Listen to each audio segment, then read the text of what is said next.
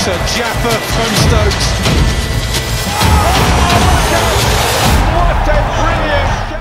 तारीख थी 3 अप्रैल 2016 और मैदान था कोलकाता का Eden Garden T twenty World Cup का फाइनल खेला जा रहा था।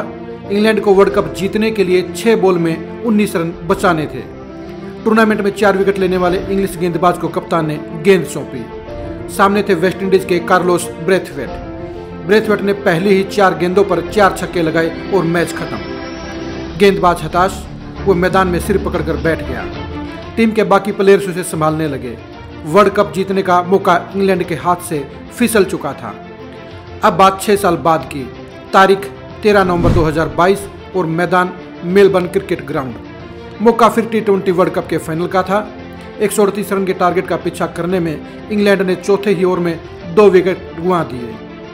टूर्नामेंट में कुल अट्ठावन रन बनाने वाले बैटर को क्रीज पर भेजा गया। बैट्समैन ने उनतालीस बॉल पर बावन रन की नॉट आउट पारी खेली और टीम को वर्ल्ड कप चैंपियन बना दिया। 2016 में फाइनल हारने वाली टीम ने छः साल बाद बाजी पलटी और अब वो वर्ल्ड चैंपियन है। छः साल पहले जो गेंदबाज छः बॉल पर उन्नीस रन नहीं बचा सका था, उसी प्लेयर ने इस बार के फाइनल में बावन रन की नॉट आउट पारी खेलकर उसे चैंपियन बना दिया। हम बात कर रहे हैं इंग्लिश ऑलराउंडर बेन स्टोक्स की। 2016 में हार के बाद निराश बेन स्टोक्स ने खुद को कैसे मेंटली स्ट्रांग बनाया, कैसे स्टोक्स ने इंग्लैंड को 2019 के 50 ओवर के वर्ल्ड कप में चैंपियन बनाया 2019 में एसएच के हैंडिगले टेस्ट में चमत्कारिक जीत दर्ज की और अब 2022 में टी ट्वेंटी वर्ल्ड कप की दोबारा ट्रॉफी दिलवाई। इन सभी मैचों के बारे में जानना बेहद ज़रूरी है, लेकिन उससे पहले जानना ज़रूरी है कि इंग्लैंड के इस ऑलराउंडर की ज़िंदगी से क्या गुजरा। बेन स्टोक्स की ज़िंदगी में उतार चढ़ाव आए वो बुरी तरह से फ्लॉप साबित हुए। 2016 के वर्ल्ड कप में जिस तरह से उनकी धुलाई हुई उससे लगा कि उनका कैरियर ख़त्म हो जाएगा। वो हताशा से गुजरे, वो चोट से गुजरे, लेकिन उन्होंने हार नहीं मानी।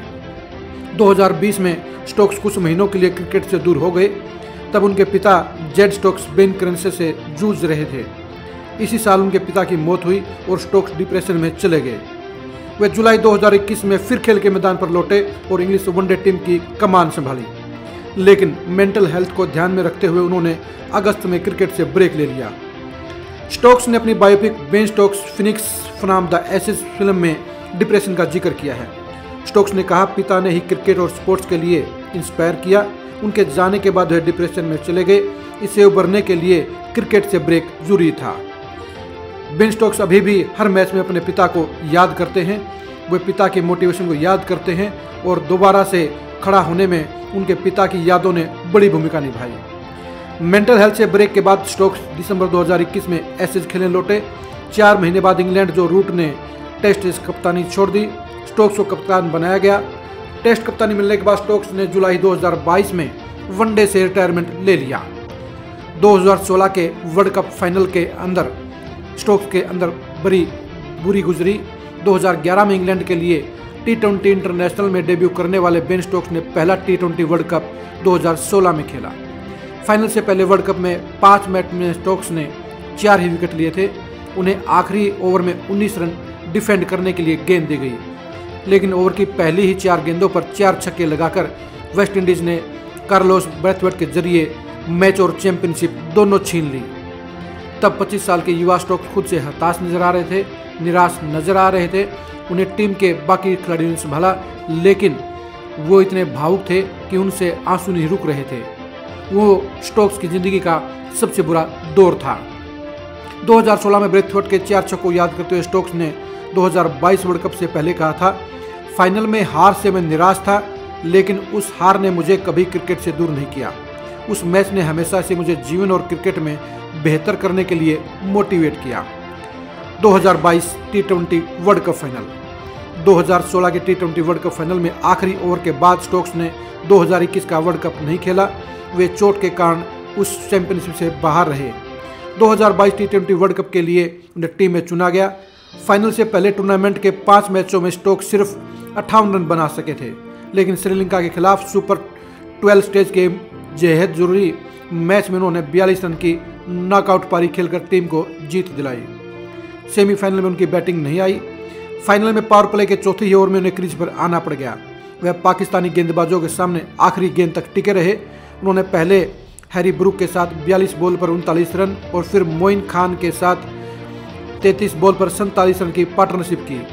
मोहम्मद वसीम की फुल लेंथ बॉल पर विनिंग शॉट मारकर स्टोक्स ने जहाँ इंग्लैंड को दूसरी बार टी ट्वेंटी वर्ल्ड का चैंपियन बनाया, वहीं 2016 की हार की कसक को मिटा दिया। अपने बेहतरीन खेल के लिए स्टोक्स को मैच ऑफ़ द फाइनल चुना गया। इसलिए 2016 के वर्ल्ड कप की तरह, एक तरह से उन्होंने फिर वही एक बेहतरीन पारी खोली और इसलिए उन्हें player of the World Cup का नाम दे दिया गया। बेन स्टोक्स की कहानी बताती है कि आपको किसी भी हालात में निराश नहीं होना चाहिए।